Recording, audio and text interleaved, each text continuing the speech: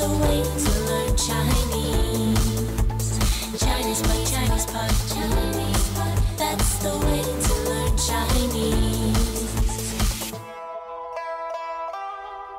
Hello, we are Chinese Pod. We're coming from Shanghai, China. My name is Ken Carroll. And I'm Jenny. We have a newbie lesson. Is that right, Jenny? Yes, we do. Uh, would you tell us something about it? Mm, we're at the hotel and Yes. getting our room keys. Room keys. Uh. Okay. Now, in fact, uh, you don't see keys very often in hotels these days. Nope. I haven't seen a room key in years. It actually takes the form of a card. Yes. Doesn't it? I'm not actually sure. What do we say, like in the Western world? I don't know anymore. Do we call them keys still? Those room, are they room, what do we call the card? However, in Chinese, we do call them room cards. Room cards. Oh. Uh, do you know what they're called in English? I, I don't know. John Pasden did some Googling and seems like it's uh, key cards. Key cards. Oh, yes. Oh, it's kind of strange. These things are cards. They function as keys, so I guess you could call them key, key cards, cards, room cards, call them what you want. In Chinese, however, you call them 房卡,房卡.房卡 fang ka. Mm. There you go. Very, very logic. Straightforward and logical. There you go. So we're at the hotel. You're picking up your 房卡. fang ka at the reception desk, I believe. And uh, so let's listen to the dialogue three times, and then we'll come back and we'll help you to uh, to piece it all together.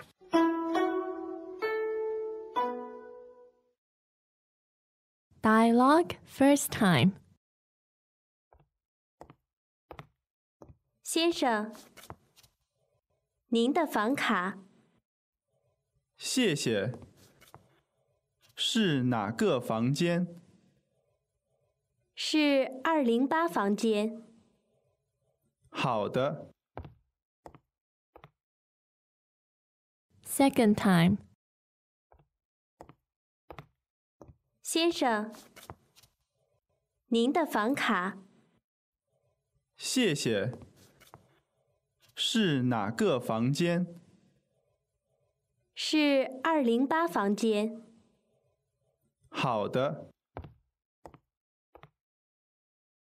，Third time.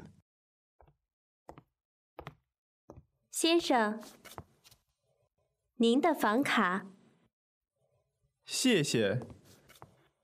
是哪个房间？是二零八房间。好的， Okay, let's translate it, shall we? Sure. 先生，您的房卡。 Sir, your room card. 先生，您的房卡。 Sir, your room card. 先生，您的房卡。谢谢。是哪个房间？ Thank you. Uh, which room is it? 谢谢。是哪个房间？ Thanks. Uh, which room is it? 谢谢。是哪个房间？是二零八房间。 It's room 208. 是二零八房间。 It's room 208.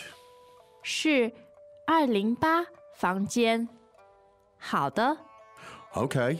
好的， All right. 好的。 So there you are.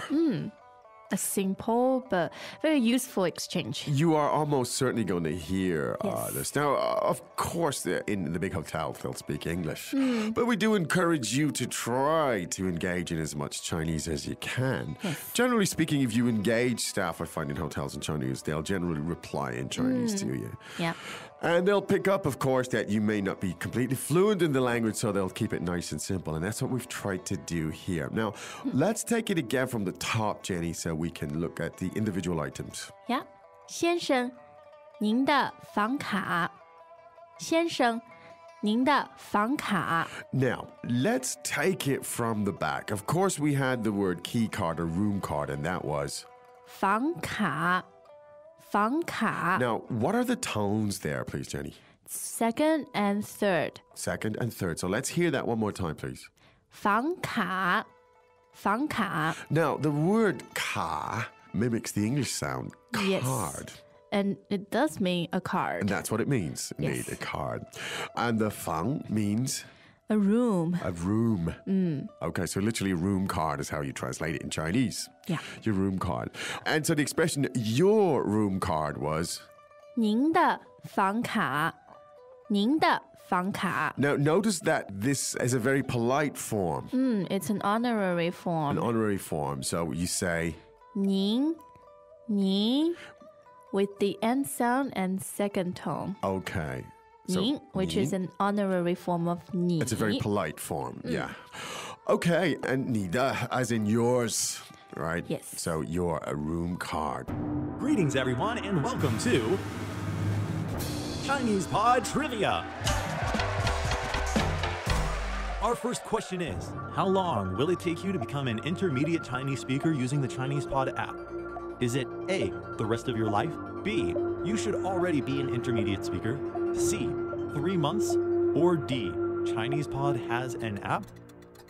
Uh, you should already be in. Ooh, that is incorrect. The correct answer is C, three months. That's right. Head over to ChinesePod.com now to register for your access to over 4,000 lessons. Get the Chinese Pod app now on Google Play or the App Store. Now you addressed the gentleman as 先生，先生 uh, so that means Mister. It means sir. Sir, yeah. It means man. Uh, It can mean a lot of different things. Literally translated, it actually means firstborn, right? Yes. Something along those lines. How sexist. There you go. Who knows? of course, the reply is uh, thank you. 谢谢，谢谢， Uh, and uh, you want to know which room it is. 是哪个房间？ 是哪个房间 Now, the expression here of 房间 means ？A room. room. All right. It literally means room. The context is clear that it's a hotel room. Yep. How did you ask which room is it? 是哪个房间？是哪个 Okay. Now, so the verb 是, the fourth tone is to be. Yes. So, uh, it's kind of an auxiliary verb. Which room is it in that sense? 哪个 meaning Which one? which one. Great. Now, let's look at it. So, in this case, we're saying which room, and that is. 是哪个房间 Now, this construction could use with other nouns. Yeah. Right? You could say which. ？Which room card, for example？ Okay. 哪个房卡 Good. or 哪个人？ 哪个人? so which Which person? person? Right. So there you go. In this case, it's the room number was 二零八是二零八房间， right. Now again, we have the verb to be again, which is 是是 and uh, the word for room, which was 房间，房间房间. And so the number 208 is 二零八， 二零八 now the tones there for 二 fourth tone yeah 二 and 零零 second tone yeah.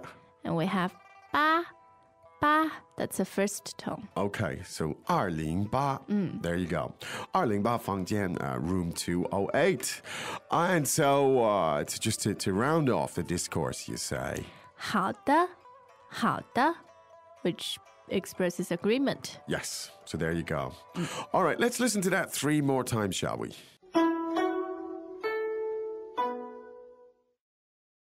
Dialogue first time. 先生，您的房卡谢谢。是哪个房间？是二零八房间。 好的， Second time. 先生，您的房卡谢谢。是哪个房间？是二零八房间。好的， Third time. 先生，您的房卡谢谢。是哪个房间？是二零八房间。好的，Now, this again is a very simple way for you to engage in Chinese if you're traveling. And uh, a lot of people, more and more people, are indeed traveling to China. So here's your way to listen on your iPod, uh, get it down, and just, you know, when you get into the hotel lobby, just give it a shot, give it some practice.